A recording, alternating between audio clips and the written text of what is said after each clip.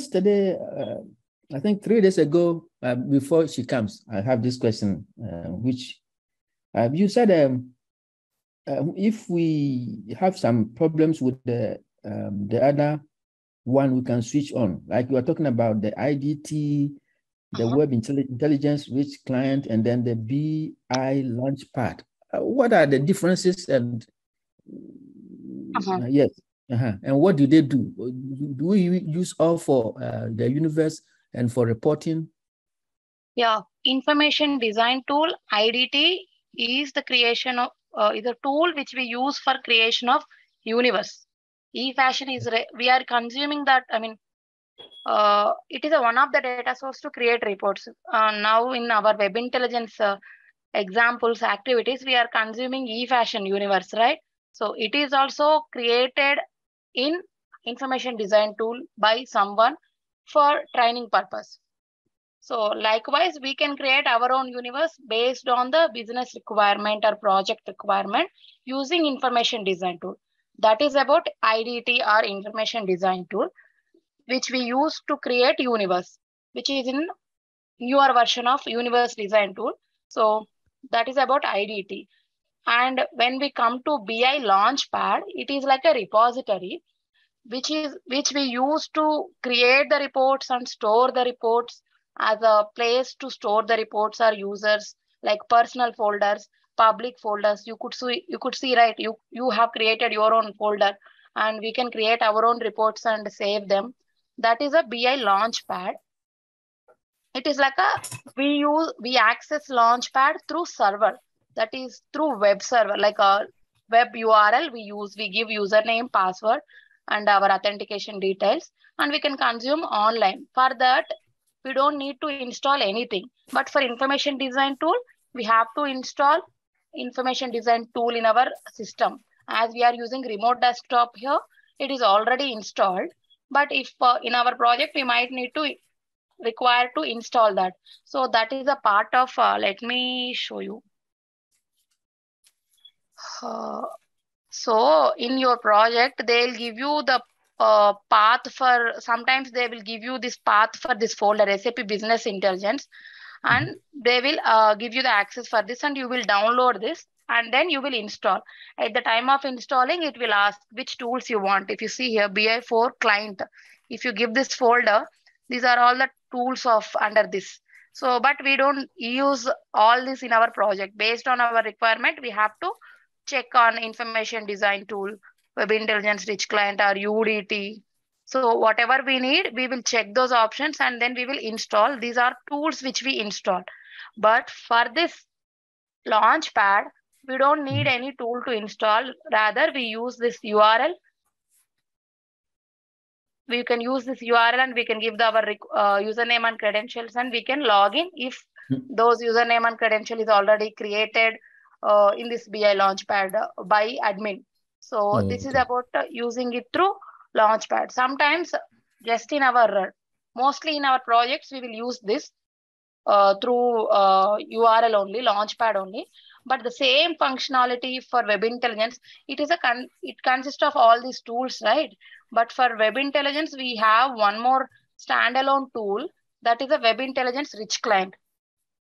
Mm-hmm. Even okay. you can create Webi reports using this tool or this browser. So what I told you is if you have any issues connecting to this universes and creating two reports in this launchpad, you mm-hmm. can try accessing using this tool and give the same system name, username, password once, and you can create the reports there itself and you can save to enterprise. If you create something there and if you are saving to enterprise, those reports will be stored here only. If you are storing in your favorites or in folders, those reports will be stored here only. You can consume this from the launchpad also.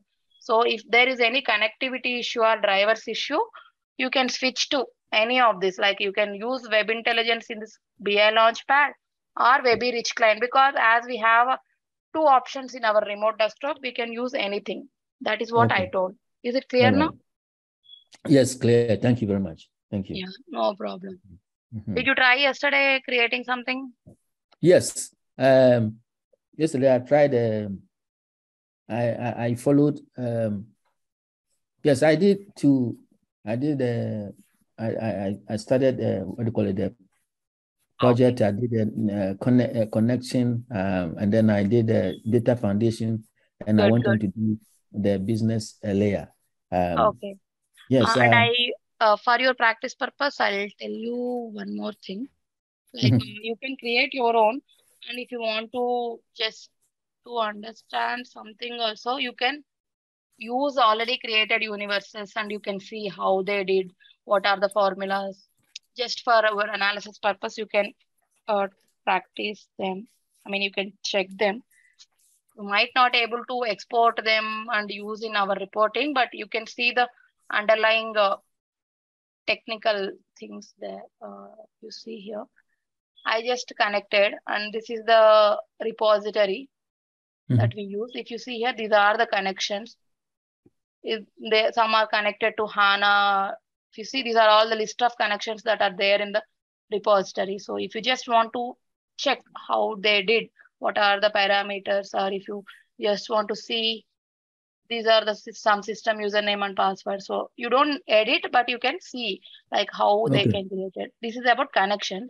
And these are the list of universes already there.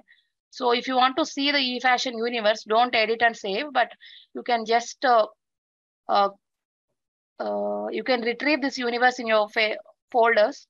Just mm -hmm. right click on this universe, retrieve universe to your uh, some sample project. I just uh, mentioned here in this Bevo demo, just for your learning purpose. So if you oh, see okay. here, I imported under this Bevo demo. Now we got this. See the date. This is today's date, 21st 8. So we just imported and we can see this connection, data foundation, business hmm. layer, which are used for creation of this universe. So mm.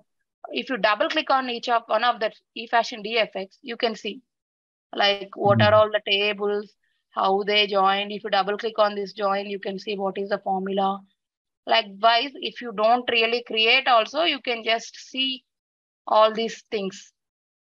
BLX, if you see, uh, this is a data foundation layer. BLX is a business layer.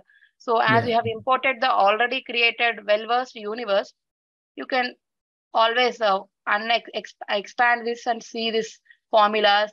And if you have any doubt, if you see here, this formula, they mentioned aggregate aware.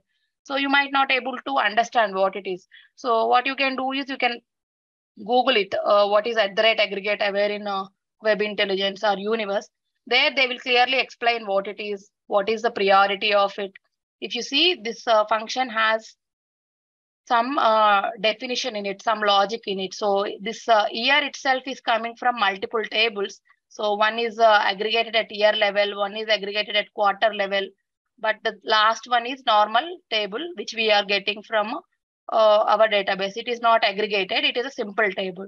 So based on the priority, it will first, if we can, if we dragged any year object under sales revenue, it will consume from this year.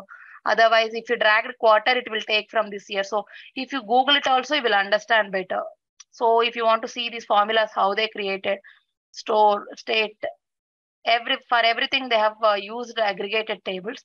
It is not required every time, but you can just check what is it. This aggregated uh, in most of the universe, I mean, interviews, uh, we will be asked about this question. What is aggregate awareness?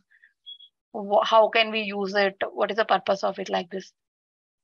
So mm. promotion Y and this object is created with this formula. So promotion flag. So is it S or no? Are we using this object product for promotion or not? So that is coming from promotion lookup table this is a table name and this is an object name. So in that way, you can do you can do some research. You can understand exactly what it is going on. And if you have any doubts with the formulas being used, you can Google and learn. It is always, uh, it's like a, uh, in the training, we give all basic things and uh, what is fundamental things. But based on practice and research and studying, we'll know more uh, topics in detail. So mm. it is about this. Like if you want to see anything in detail, you can import them and see. Double click on uh, whenever I double click on CNS, it is showing about CNS detail. If I click on DFX, it is showing. If you see, it is highlighted eFashion.dfx and data foundation is being visible here. And Mhm. uh, eFashion.blx, this is the business layer which we use to create our objects, dimensions, and key figures, measures.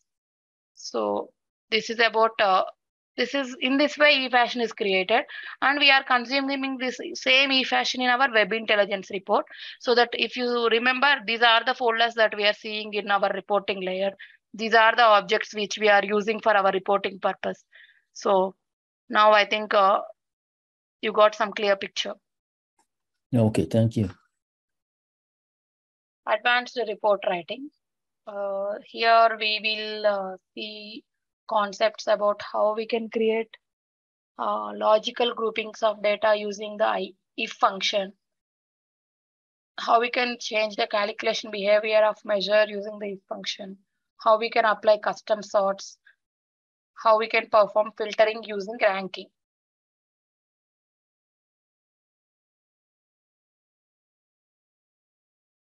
This if function is like uh, it is used for logical grouping.